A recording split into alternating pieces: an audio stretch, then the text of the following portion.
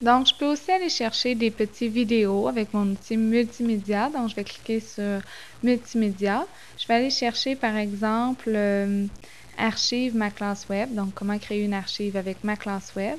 Et je vois mon petit tutoriel apparaître donc à l'écran.